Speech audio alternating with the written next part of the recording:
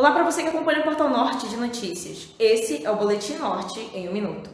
Moradores e familiares dos suspeitos presos em Operação Beiradinho, que aconteceu na última terça-feira, fizeram protesto na tarde desta quinta-feira, na rua Parque dos Franceses, no bairro Chapada. Eles pediram que fossem ouvidos para esclarecer que os suspeitos presos são pessoas inocentes.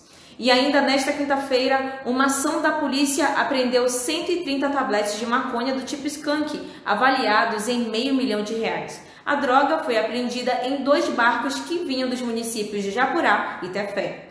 E um homem acusado de homicídio com o nome Gutenberg Ferreira Filho é procurado pela polícia, apontado como autor do homicídio de Robson Gama da Silva. Quem souber informações dele deve entrar em contato com o Disque Denúncia 181 da SSP. Eu sou Sheila Monique, do Portal Norte de Notícias.